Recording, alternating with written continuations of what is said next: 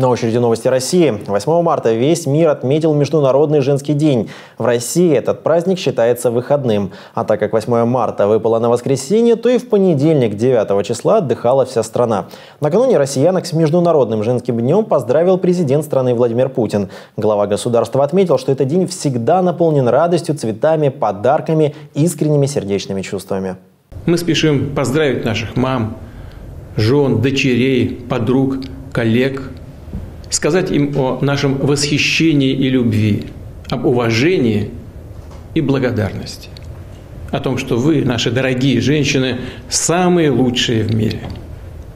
Вам каким-то непостижимым образом удается все успеть, беречь домашний уют, достигать значимых успехов в работе или учебе и при этом всегда оставаться очаровательными, красивыми и женственными.